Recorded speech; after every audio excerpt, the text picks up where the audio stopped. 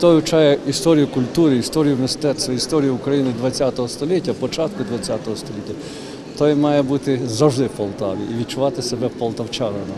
Новий номер одного з найстаріших в Україні журналів Образотворче мистецтво представили у Полтаві. За 79 років, відколи його видають, вперше видання присвячено практично повністю полтавським митцям.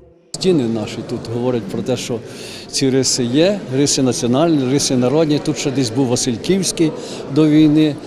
І був у вас Гаврилко, всесвітньо відомий художник, якого знищили в 20-му році.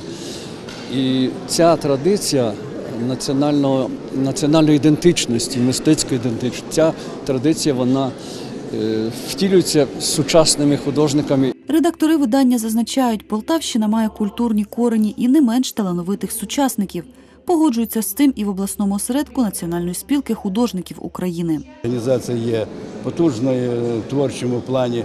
Е, Кількісно в складі вона є десь с- середнє, е, займає десь середнє положення, але в творчому досить поважна і потужна. Молодь прекрасна, талановита творча, особливо випускники технічного університету, і вони багато працюють і вже становляться, набувають членство у спільці художників. Журнал розповідає про різні жанри мистецтва у різні часи, не віддаючи перевагу одному напрямку. Для Полтави останній номер образотворчого мистецтва окреслив знаменну історичну подію. Тут чітко вже підкреслено, що в Полтаві в 1903 році з нагоди встановлення пам'ятника е, Котляревському була проведена перша всеукраїнська виставка взагалі.